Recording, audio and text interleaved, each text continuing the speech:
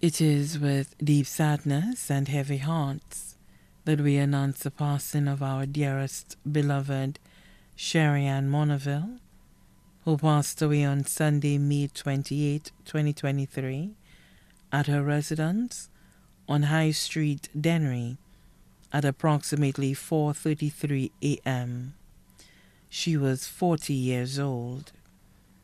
Left to mourn her partner, Clavius Dandas, her beloved children, Navin Satney, Ashma Monerville, Leslie Monerville, Kitana Monerville, Cleveland Dandas, Diamante Dandas, her brothers Robert John and Paul Narain, her sisters Lucy Monerville, Sophia Monerville, nieces Serena Cox, Twyla John, nephews Tristan Cox, Anthony Narine, Paulinus Narine, Saline Khan, aunts Noella Morneville, Prosper, also known as Wayo and family, Juliana Antoine and family, Magdalene Morneville and family, Digna Fulgence and family,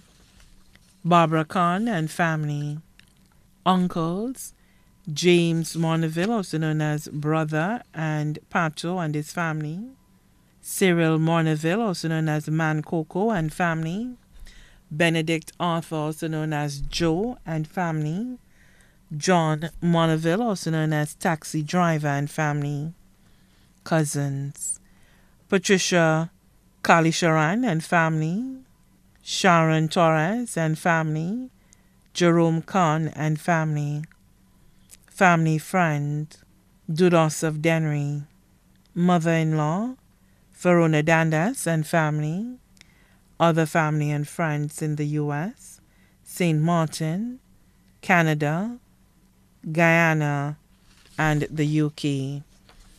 Transportation will be available from the Granovier Gap to take persons to the funeral service of the late Sherry Ann Monerville. The funeral service for our beloved Sherry Ann Monerville will be held at the Rima Pentecostal Church in Dennery on Tuesday, June 27, 2023, at 2 p.m.